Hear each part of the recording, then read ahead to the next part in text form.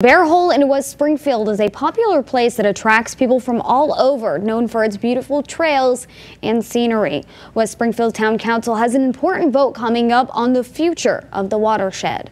Bear Hole is a really special place uh, for a lot of people. Bear Hole in West Springfield is a one-of-a-kind place for people in Western Mass. There aren't a lot of areas um, for dog walkers, bikers around here to be able to enjoy.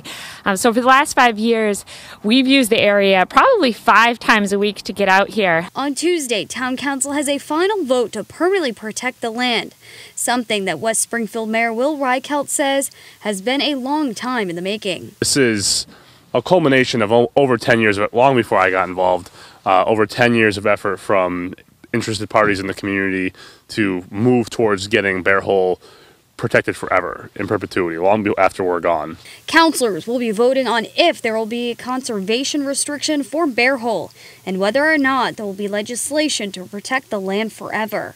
Mayor Reichelt tells Western Mass News as a West Springfield native, Bear Hole is important to him and he wants to protect it you look at the national parks.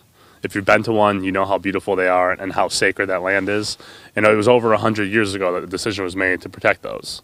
So for us now to look at Bear Hole and make sure that it stays protected forever, we need to make the decision now so that in 100 years from now, our children's children's children can still walk through and, and see the reservoir and, and see the great biodiversity we have here.